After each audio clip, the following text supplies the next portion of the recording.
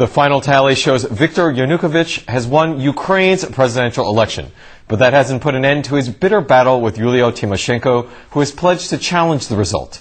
Liu Yanhua has more. Yanukovych called on Tymoshenko to accept defeat and step down as prime minister. His remarks came hours after the Central Election Commission announced the election result on Wednesday.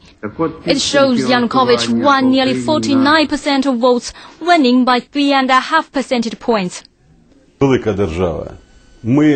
officially turn to the Prime Minister and call on her to resign and cross to the opposition. I want to remind Tymoshenko that the people's will is a foundation of democracy and that democratic leaders have to accept the results of the expression of the people's will.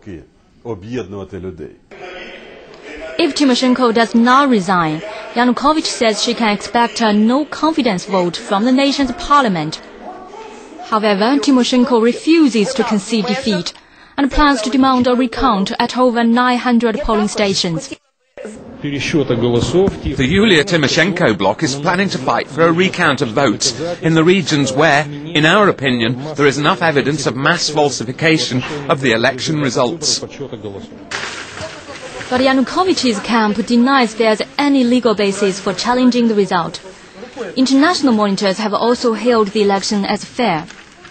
Ukraine's election commission will declare the official results and name a president-elect next week. Yanukovych says if elected, relations with Russia and the Commonwealth of Independent States will be his priority. He also says help is needed from the West and East to stabilize the Ukrainian economy. 刘艳华，CCTV。